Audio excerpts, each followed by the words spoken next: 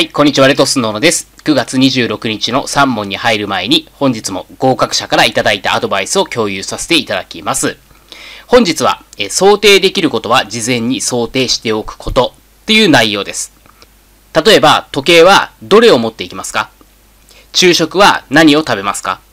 できる限り事前に考えておけば、前日、当日、不安になる要素が少なくなります。最近は時間を調べるためにスマホを使う方が多いと思いますが、時計も用意しておく必要があります。もしかしたら電池が切れているかもしれないので、事前に確認しておいて、電池が切れているようでしたら、電池交換をしておきましょう。また、昼食は何を食べますか？何を食べても問題ありませんが、お腹を壊す可能性があるものは避けた方がいいです。なので、生物よりも熱処理されたもの、こちらを選んだ方がいいです。また試験開始が13時からなので、食事をして眠くなる方は、それも想定して、少し早めに食事をとったり、食事の量を減らしたり、と事前に対策を考えておくと良いでしょう。私自身も実は時計ですね。あのー、時計を日々使う習慣っていうのがないんですよ。なので、スマホばっか見てて、時計って用意してなかったんですね。で、まあ、一週間前ぐらいに気づいて、あの、時計新しく買ってきました。もう安い時計ですけどね、腕時計でもう安いものを買ってきました。また昼食については、いつも昼食取る習慣がないので、昼食は取らずに、まあ、試験を迎えました。まあ、人それぞれやはり違いますので、まあ、今日言ったことは、まあ、参考程度にしていただければと思います。それでは本日の3問に入っていきます。普通抵当権でも寝抵当権でも、設定契約を締結するためには、非担保債権を特定する必要がある、丸か×かという問題です。考えたい方は動画一旦ストップしていただいて、この動画の下の概要欄から問題文ご確認ください。で、答えは、これ×ですね。普通抵当権は、非担保債権が特定されている必要があるんですけれども、寝抵当権は、非担保債権が特定されている必要はありません。よって本文は誤りになります。で、この問題ちょっとややこしいんですよね。非担保債権って何なのかとか、ちょっといろいろ解説すべきところありますので、別途動画でお伝えいたします。動画については、こちらの右上のお知らせボタン、もしくはこの動画、終わった最後にリンク貼っておきますので、そちらからご確認ください。で、続いて、えー、宅建業者は、え取引の相手方の権利の実行により営業保証金の額が政令で定める額に不足することとなったとき、供託所から不足額を供託すべき旨の通知書の送付を受けた日から2週間以内にその不足額を供託しなければならない丸か×かという問題です。えこれ答えは×ですね。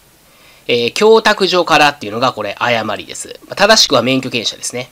えー、還付請求により営業保証金の額が不足しちゃったよと。そうすると、不足額について納付してくださいって通知が来るんですけども、これは免許権者から来るんですよ。今回の問題は供託所から通知書が来てるんですね。だからこの点が誤りなんですね。で、その他の部分は正しいです。通知を受けた日から2週間以内に供託しなければならない。この部分は正しいと。で、今回の、え問題について、解説を見て、あ、そうだったなと、ま、わかると。でも間違えちゃったっていう方です。この方が一番注意しなければいけなくて、実は今回そのように間違えちゃった。つまり今、ボンミスですよね。ボンミスで間違えた人っていうのは、日頃の勉強で理解学習ができてない人なんですね。多くの方が理解学習を間違ってるんです。理解学習の認識を間違ってるんですね。理解学習っていうのはこの解説を理解するだけじゃなくて、そもそものこの問題文が理解できていないと、どんだけ法律、ルールを覚えたとしても、ボンミスとかして間違えちゃうんですよ。だから、問題文を理解するってところがすごく重要なんですね。だ問題文を理解できていないから、引っ掛け問題に引っかかっちゃうんですよ。これを分かってる人が非常に少ないんですね。理解学習の認識を誤ってるんですよ。だから多くの方が理解学習できているつもりになっていて、実際は理解学習ができていなかったって話なんです。重要なのはこっちなんですよ。こっちじゃないんですよ。多くの方はこの解説が重要だと思ってるんですけども、実は違うんです。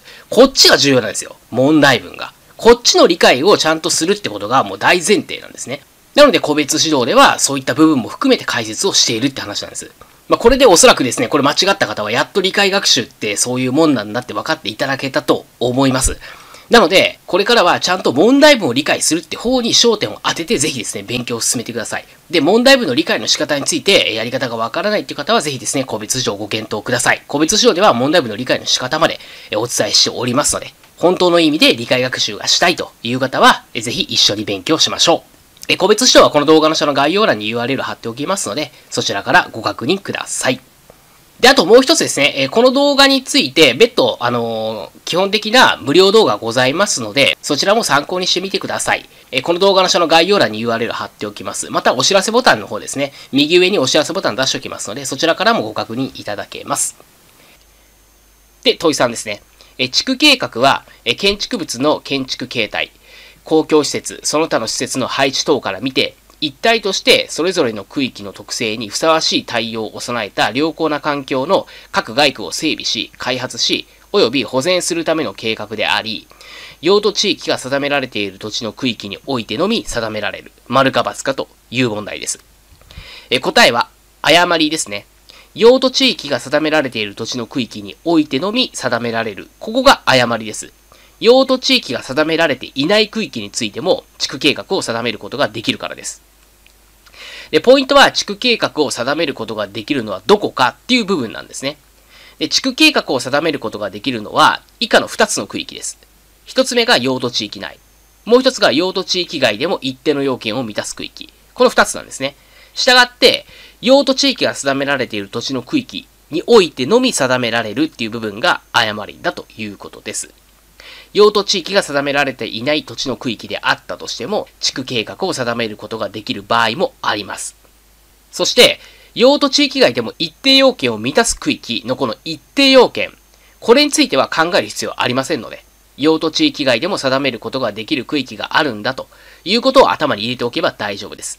無駄な勉強をせずに必要な部分だけ頭に入れていきましょう。そして、問い1でお伝えした、普通抵当権と寝抵当権の非担保債権の違いについては、真ん中の動画ご覧いただければと思います。今日も最後まで動画ご覧いただきましてありがとうございました。合格目指して一緒に頑張っていきましょう。レトスの小野でした。